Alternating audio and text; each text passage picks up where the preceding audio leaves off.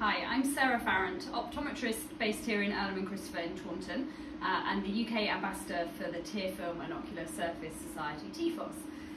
Today I wanted to just talk to you a little bit about low-level light therapy, or otherwise known as photobiomodulation.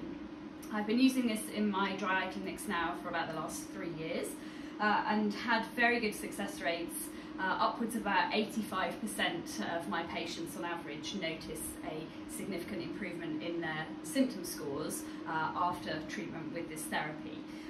The way it works in my clinic, we treat patients usually with a loading dose of about four, four treatments over about three or four months. Uh, and after that, we often put them onto a maintenance therapy if it's successful of about a, a treatment once every six months or so. What we do the array uh, consists of uh, uh, an array of LEDs uh, which we basically place over the patient, like so. That array, we spend 12 minutes with the patient with our eyes closed uh, with a mask on.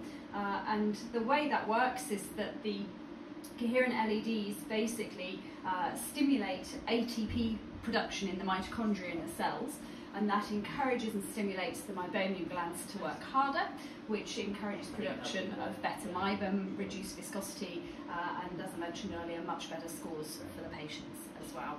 Uh, a really good adjunct to my clinic, uh, something I really wouldn't want to be without.